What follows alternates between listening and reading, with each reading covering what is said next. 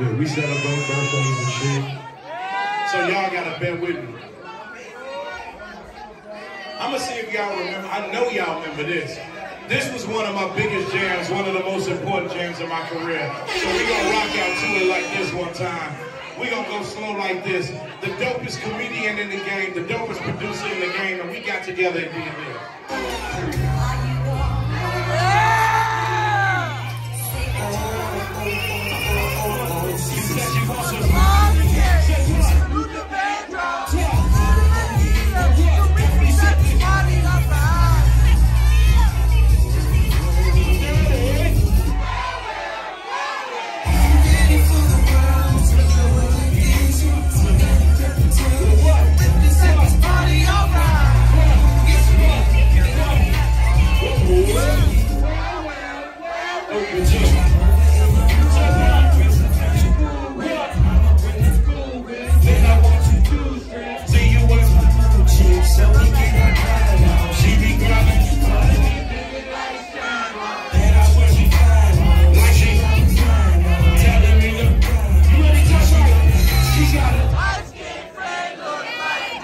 She got it.